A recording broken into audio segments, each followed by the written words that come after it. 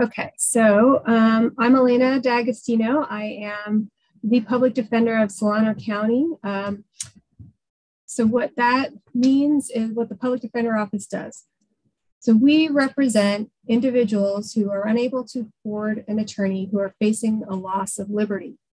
Most of the time that means uh, you're looking at going to jail for committing a crime, and that's probably 95, 95 99% of the people we represent, adults and juveniles.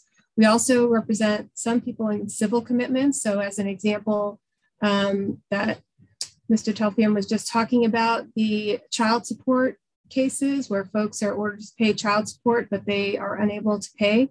Uh, those folks here in Solano County are often charged with criminal contempt, and they're looking at five days in jail for every missed payment. It's also a separate misdemeanor. And back when I was doing misdemeanors some 20 years ago, they used to file it that way. Um, but now they just file it as criminal contempt um, cases. We represent those folks. And we also represent people who are facing civil commitments like conservatorships, um, you know, that Britney Spears situation, um, people who are facing a loss of liberty, you know, for, phys- for, for medical or mental health issues. Um, so those are our clients. Um, we are, you know, there are a lot of stereotypes of public defenders out there. Our clients sometimes call us public pretenders or dump trucks. Uh, like, you know, when I was new, it'd be like, so how long do you have to do this before you get to be a DA? You know, you're not a real lawyer. Um, but the fact is that people who go into public defense, particularly today, are incredibly committed to serving people who you know have nowhere else to go. Um, it's it's we are we are committed to providing the very best representation to our clients, not just adequate, which is what the Constitution requires. Adequate under the Constitution can mean you sleep through the trial. There have been death sentences that have been upheld by the US Supreme Court where the lawyers fell asleep during trial. So we're shooting for higher than that. we we aim and I believe we succeed in providing a higher quality of defense than your average private attorney out there. Um, now, if you have $100,000 to spend on a lawyer, you're, you're, you're going to get a different level of defense. Um, but your average middle class person who's, you know, um, trying to find somebody, we do a really good job. We're really committed. We work together as a team. We, um, we're in court every day. We know the judges, we know the prosecutors, we know the cops we know the law, we're doing these cases all the time, so we do a really good job. That said, we are a county department. Um, in California, we are funded by, public defense is funded by the counties, it's not funded by the state. Uh, it's actually, we are one of the very few states that are funded that way. Um, the other states are places like Alabama and Arkansas, and uh, so we're not in great company. Most of the um, the bigger states have a statewide system. Uh, when you're funded by the county and you're paid by tax dollars in the county, there's a lot of fluctuation into um, funding issues. And you're, I believe, more at the whim of uh, political wins, right? So we are a, a, a well funded office, but um, our caseloads are higher than they should be.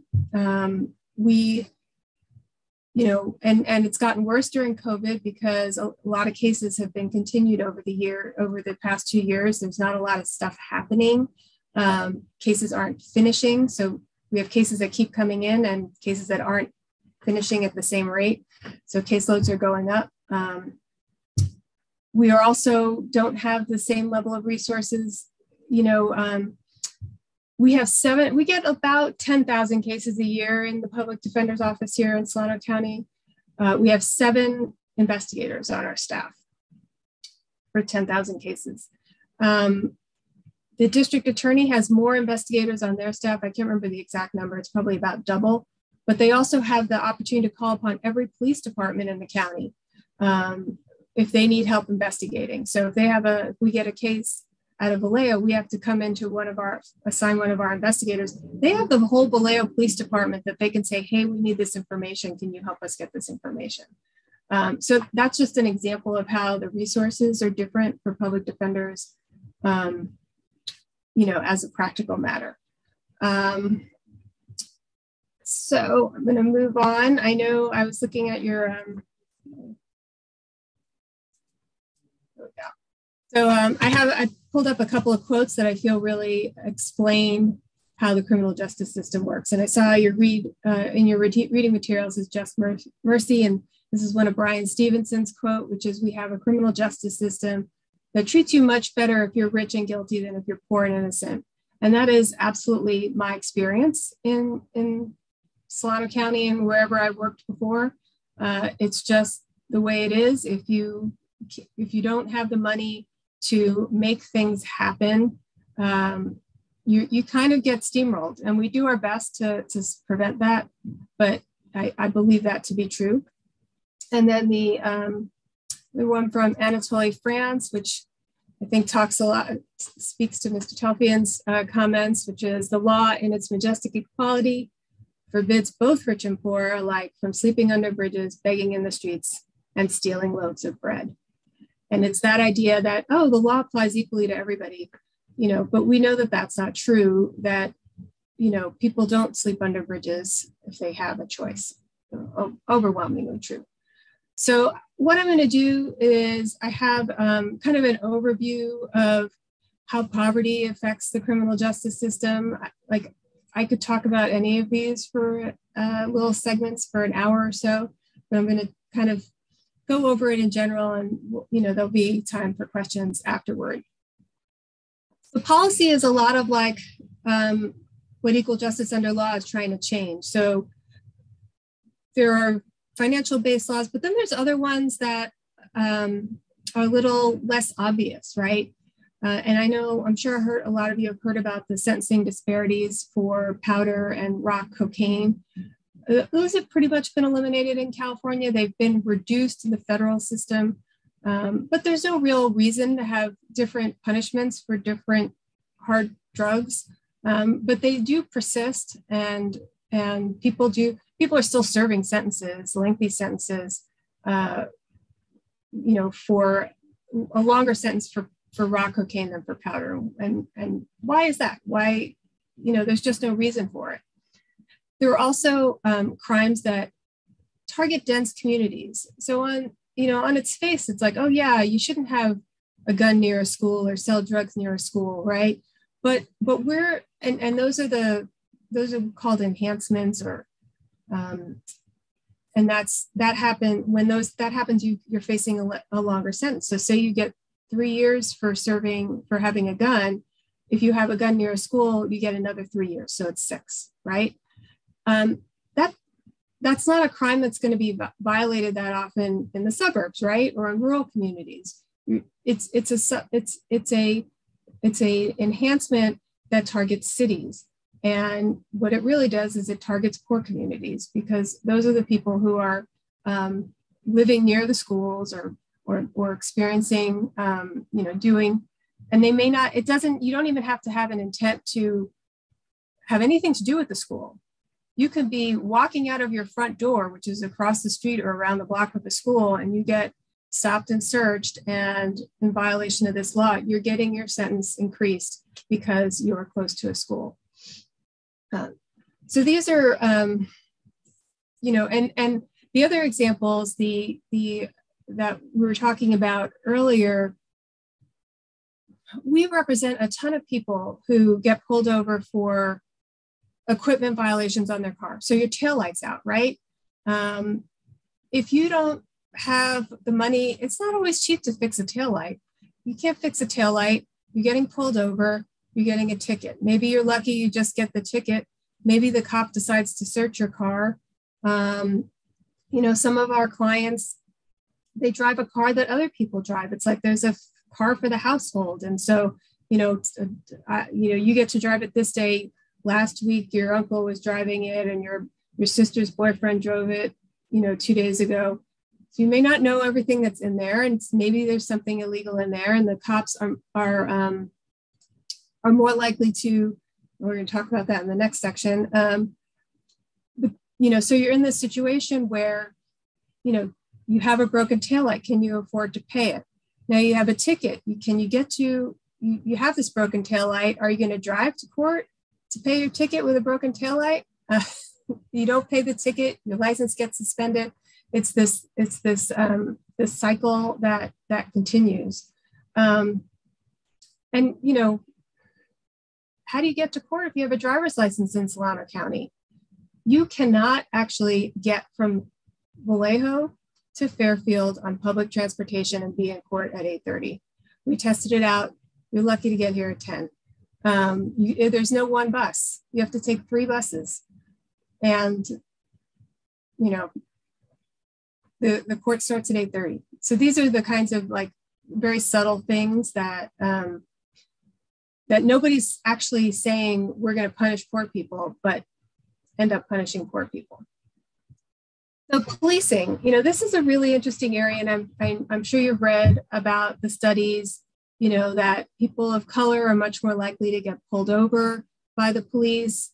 Uh, people of color are more likely to get searched once they're pulled over, even though the police are less likely to find any kind of illegal items. Um, you know, when whether to when when somebody's committed a crime, the police often, for lower level crimes, have the opportunity to just give you a citation like a traffic ticket, come to court in a couple of weeks. But they also have the power to cite to arrest you. And how do they make that decision? Who gets arrested and who gets cited?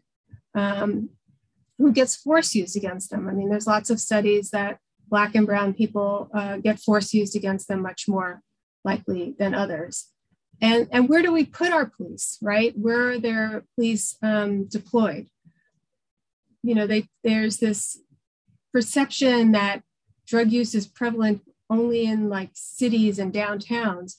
But actually, the studies say that drug use is pretty evenly distributed around our communities. It's not just poor people, it's not just Black and Brown people, it's not just people in the cities, but the police don't go around the suburbs and just, you know, walk up to people and ask them if they can search them, which is what happens to our clients. Our clients are just walking down the street, minding their own business. Hey, how are you doing today? Can I talk to you? That's a consensual encounter. It doesn't involve the constitutional right uh, to be free from search and seizure. And if you say yes, sure, I'll talk to you. You're, you know, that's uh, that's on you, and you are now consenting this interaction. And, he's, and the cops, you know, he's like, hey, what are you doing? What are you up to? Uh, do you mind if I, you know, pat you down?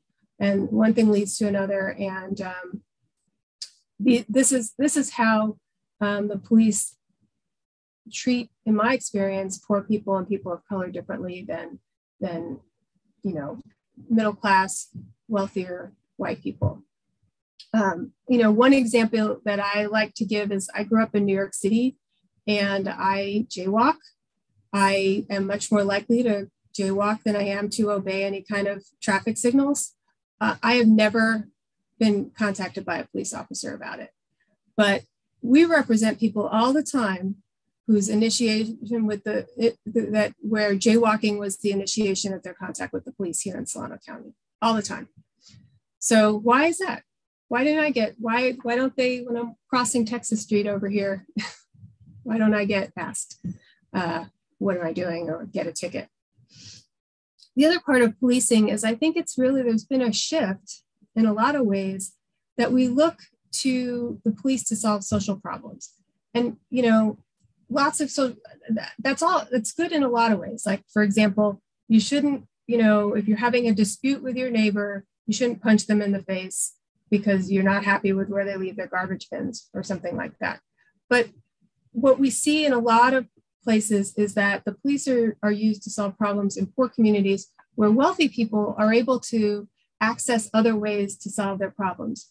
So, for example, you have a child, a, a young adult, a 20 year old kid who is out of control, he's not using drugs or he's suffering from mental illness, he won't get treatment, he won't go to the doctor, he won't take medications. Maybe it's both drugs and mental illness.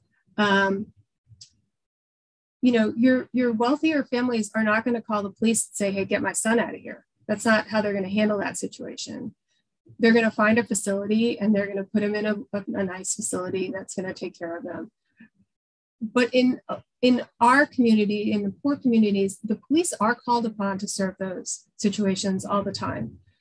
Um, we we have um, I consider this to be a terrible tragedy that we have so many clients right now who um, have restraining orders by their family members because their parents, their siblings, whatever it is, don't know how to deal with their mental illness, don't know how to deal with their drug use.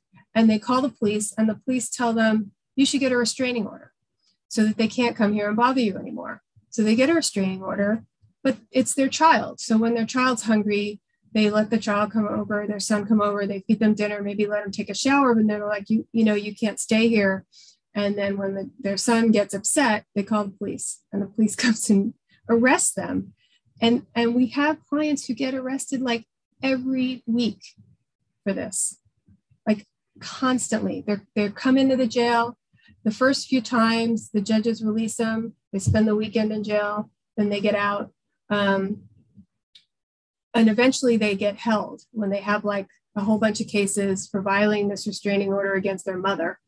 Um, they get held, and you know usually there's some kind of mental illness lurking in there that that maybe is going to get treated, but honestly, it doesn't. It, it typically doesn't. It ends up cycling until there's some something else that breaks it.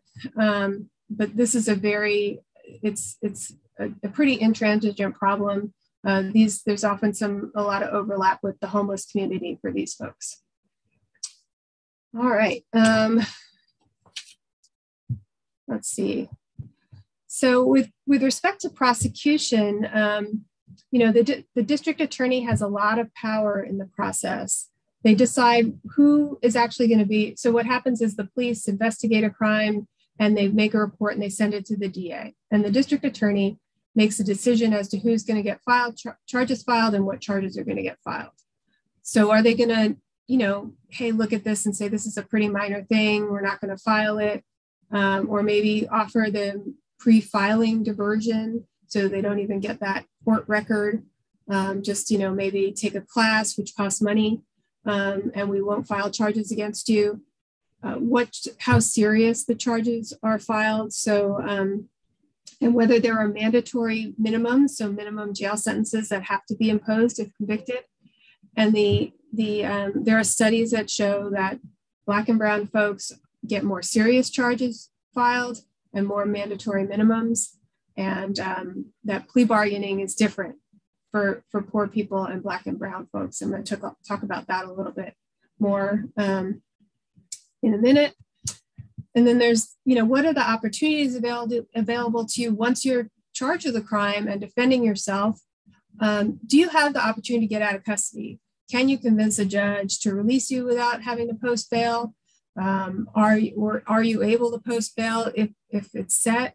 Um, if you're out of custody, are you able to get into some kind of program or treatment that's going to convince the judge or the prosecutor that you're taking this seriously that you're not likely to reoffend, that you're able to, you know, accept responsibility and, and try to change. Or, you know, you know, and often that is like access to health insurance or um, money for, for, to see, you know, can you find a counselor um, to that can provide these services to you?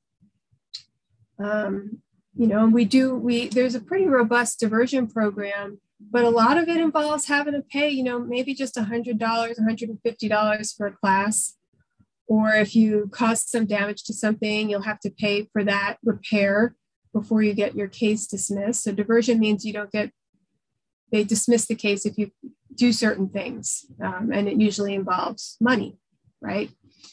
Um, so who has access to those types of situations? Um, you know, and um, let's see. And if you do go to trial, um, who's who's going to be on your jury? So what we find is if you so certain people aren't allowed to serve. So up until this actually last year in California, you couldn't serve if you had a felony conviction. Didn't matter if it was 40 years ago.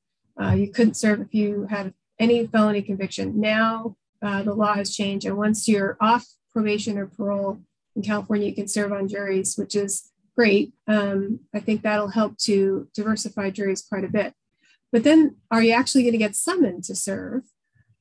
the the list that they use and they're just there's another new law california's been doing some great things. And so up until this year um, the list that they got to who to su- summon for jury duty was basically the dmv list. So if you don't have a driver's license or an id card you're not you're never going to get summoned for jury duty they've they're expanding it this year. Um, they're using tax records so that'll hopefully pull more people in. But again, not everybody files taxes, and, and so it'll still miss some folks. Are you excused for hardship? If you come in as a juror and you say, Judge, I can't spend all week here, my job won't pay me, I think they'll probably fire me, or I have a, a, a young child at home, I don't have childcare, I'm the only child provide care provider to my my baby, you're going to get excused. So if you're poor, um, you're going to get excused because you're poor. Um, what ends up happening, we usually have juries are like half retired people, honestly, and the other half is government employees. It's it's it's really interesting, and it's it's a tragedy because I think jury service is one of the most important things that we can do as a member of our community. Because when else do you get to see what certain elected officials are doing. Your your district attorney is an elected official. That judge is an elected official. The police agencies that are going to be uh, officers that are that are going to be testifying, they are you know an arm of of your government, and it's it really is a window onto what is going on. What are the decisions that are being made? How are the um, how how are the judges treating the players, the, the parties, the defendant? Is everybody getting treated with respect? Are they prepared? Are they taking this seriously? And and being on a jury actually shows you quite a bit of that, and I think it's really a helpful thing for people to do.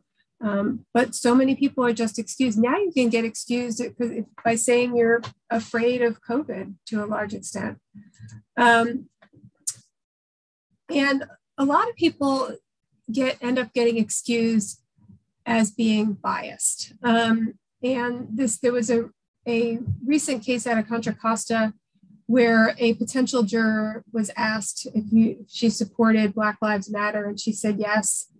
And without getting into too many details, the district attorney um, argued to the judge that that meant she was unable to be fair to police officers and that she didn't trust the system and she would and the judge agreed and let and kicked her off. Um, now, if you've only and, and the other examples that comes up is if you've had a negative experience with the police, you can often be kicked off because you know that shows your bias against the police. Doesn't if you have positive experiences on the police, that doesn't get you kicked off for being biased. Um, but California has a new law, um, again, just took effect this year, this month. So we're waiting to see how it'll impact that um, does not allow judges or prosecutors or defense attorneys to, to kick people off of juries for reasons that end up being a proxy for race. And one of those is, um, you know, having had a negative experience with police officers or having um, a family member who's been in the criminal justice system, things like that. All right.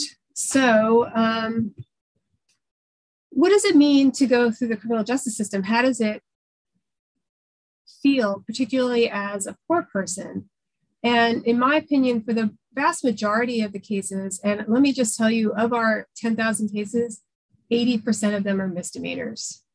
Um, so the, the misdemeanors are the bread and butter of the criminal justice system.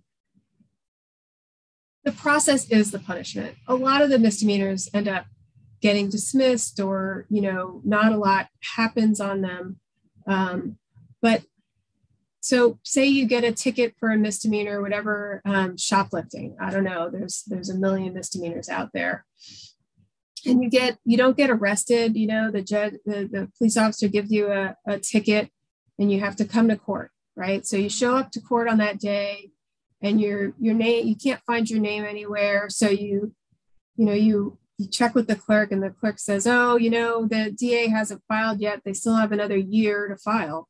Um, so just keep checking back. meanwhile, you took that day off of work um, and, uh, you know, you, you missed work or you had to pay somebody to take care of your child.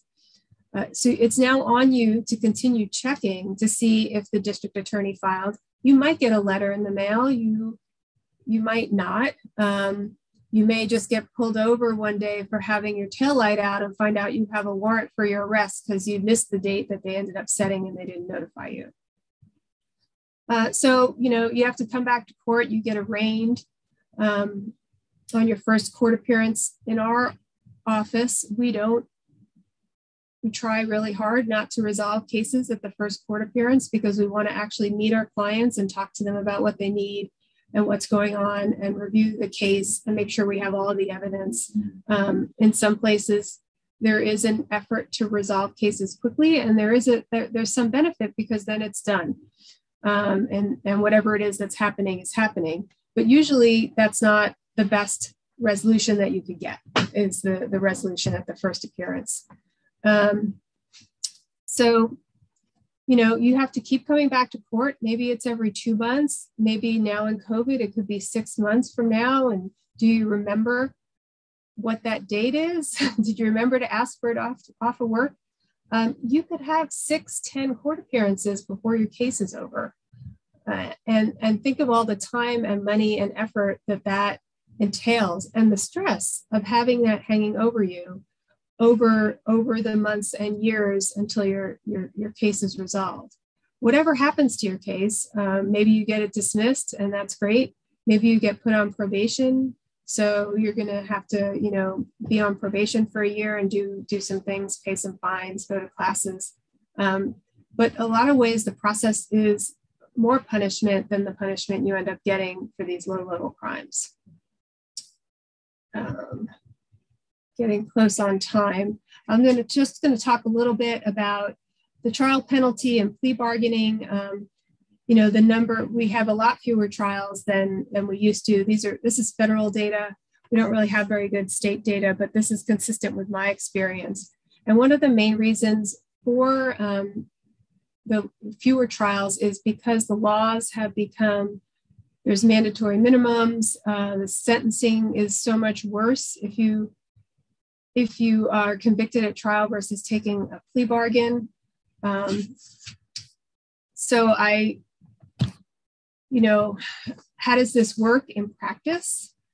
Um, what I thought I'd do is just give you a brief pitch of a, what I have said to I don't know how many clients over the course of the career about how you decide whether to take a plea bargain or go to trial, right? So um, let's say all right, Miss Kelly, so you are facing a felony charge right now. We're going to go to trial next week, but the district attorney has made an offer to you, and that offer would be to reduce that felony to a misdemeanor.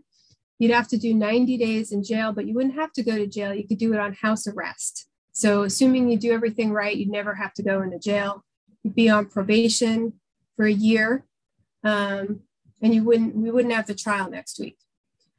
I think, you know, based on all the all we've discussed and the investigation that I've done, I think that, you know, with the witnesses we have to present, I think there's a likelihood that we could win a trial. I don't think the district attorney's case is very strong, which is why they're making this offer of a misdemeanor to you. But I do need to warn you that if we go to trial next week, what could happen if you, you know, if, after the trial. So you could be found not guilty, which means the case is over and done and nothing else can happen to you. Um, but if you are found guilty of a felony, there is a possibility that the judge could take you into custody at the time of the verdict. And, and you would not be able to get re- released or even argue for release um, until you're sentenced, uh, which would be a few weeks after that. Um, I don't think the judge will, I, I, I don't know whether the judge would do it. I'd certainly have a good argument that you, you, you you know, there's no risk to the community for leaving you out of custody. Um, you know, you've been coming to court all this time, you have a job, but I can't promise you that it won't happen. There's also a possibility that um, you could get a longer sentence. You could get up to two years in prison for this crime. Um, I don't think you would get the maximum, but I can't promise you that you wouldn't get jail time, that you'd have to spend time in jail. And it could be more than the 90 days that the judge is offering. And uh, you would have a felony conviction if you're convicted of a felony, which can have, you know, implications for your for your future. So considering all of that, you know, I want to encourage you to have a trial because I think it's important to to make the prosecution prove this. I don't think they they can prove it, um, but ultimately, you know, this is your decision, right? I don't know about you. I would be seriously considering pleading guilty to something I didn't do in that situation, right? So, um, yeah, those are the decisions we make all the, the conversations we have all the time. Sometimes it's the person's in custody and uh, they could get out of jail by pleading guilty, you know? So in this example, um, yeah, you could get out of jail and do the rest of that 90 days on, on house arrest. So you could finish that sentence on house arrest. If you want your trial, you're going to have to stay in another two weeks until our trial date. What are you going to do? I don't know. I might take, I might take that deal. Um, so uh, some statistics, you know, more than 90% of the criminal cases that end in conviction are a result of plea bargaining with the prosecution, which is an unequal um, power dynamic, uh, as I talked about a little bit. And if you're in custody pre-trial, you're more likely to plead guilty, you know, by 47%. And this study, um, all of these stats come from the Vera Institute of Justice um, report.